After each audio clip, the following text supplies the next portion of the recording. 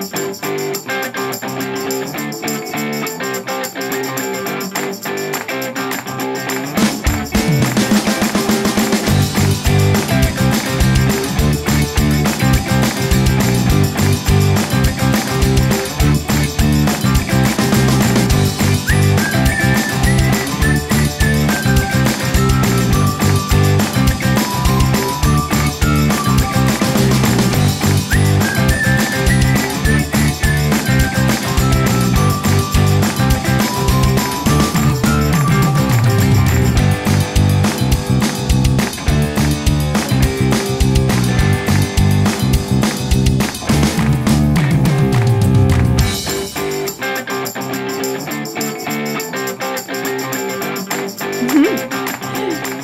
Harvest Kobe!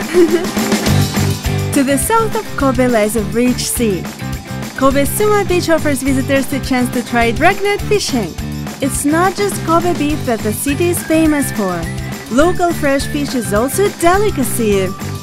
Dragnet fishing method, supported by local fishermen, involves a group of people drawing in a 50 meter wide net from just offshore.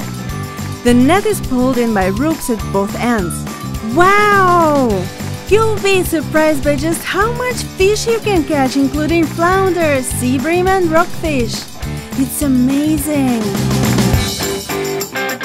Suma is also home to the historically famous Sumadera Temple. While being shown around by the temple's monks, I prayed for safe travels and for luck in the future. After that, I set off for the summit of the nearby mountain aboard the ropeway. Out of all of Kobe, Suma is located closest to both the mountains and the sea. The day was an exciting opportunity to experience all the sea had to offer. Mm-hmm.